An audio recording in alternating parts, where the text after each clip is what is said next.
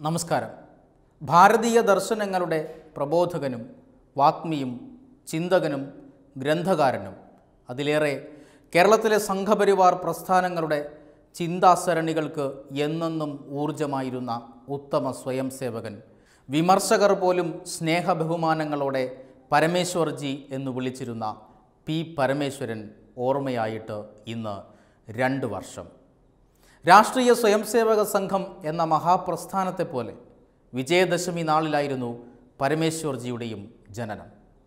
ആലപ്പുഴ ചേർത്തലയിലെ ചാരമംഗലത്ത് താമരശ്ശേരിയിൽ പരമേശ്വരൻ ഇളയതിന്റെയും സാവിത്രി അന്തർജനത്തിന്റെയും ഇളയ മകനായി ആയിരത്തി തൊള്ളായിരത്തി ഇരുപത്തിയേഴ് ഒക്ടോബർ മൂന്നിനായിരുന്നു അദ്ദേഹത്തിന്റെ ജനനം.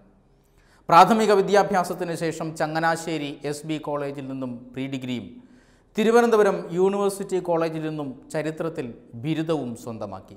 ചെറുപ്പകാലത്ത് തന്നെ സംഘവുമായി ബന്ധപ്പെട്ട് പ്രവർത്തിക്കുകയും ആയിരത്തി തൊള്ളായിരത്തി അൻപതിൽ അതിന്റെ മുഴുവൻ സമയ പ്രചാരകനാവുകയും ചെയ്തു.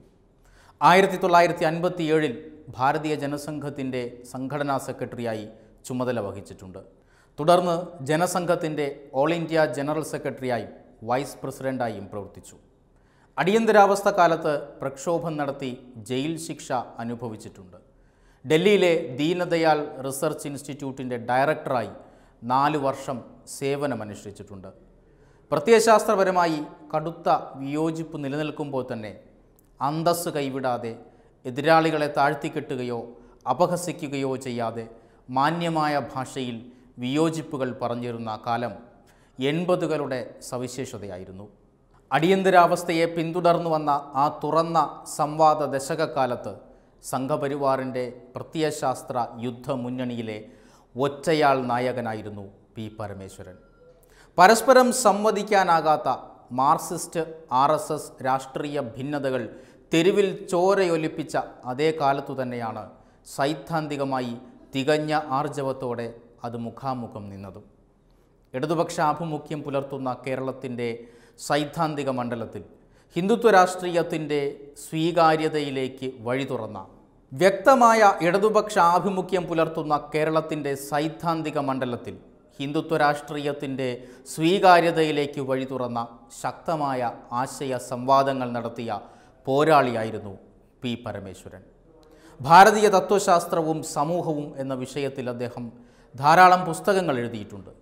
കേരളത്തിന്റെ സാംസ്കാരിക സാഹിത്യ മണ്ഡലത്തിൽ വാക്കുകൾ കൊണ്ട് അടയാളപ്പെടുത്താൻ കഴിയാത്ത മഹത് വ്യക്തിത്വമാണ് പരമേശ്വർജി.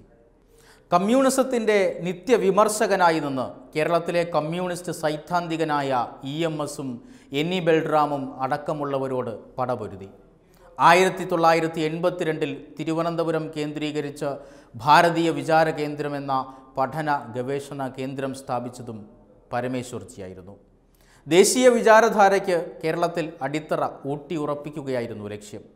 തത്വചിന്തകനും വാഗ്മിയുമായി കഴിഞ്ഞ ഏഴു പതിറ്റാണ്ട് കാലം കേരള സമൂഹത്തിൽ നിറഞ്ഞു നിന്ന ഇദ്ദേഹം ഇംഗ്ലീഷിലും മലയാളത്തിലുമായി മുപ്പതിലധികം പുസ്തകങ്ങളും രചിച്ചിട്ടുണ്ട്. രാജ്യം രണ്ടായിരത്തി നാലിൽ പത്മശ്രീയും രണ്ടായിരത്തി പതിനെട്ടിൽ പത്മവിഭൂഷണും നൽകി ആദരിച്ചു.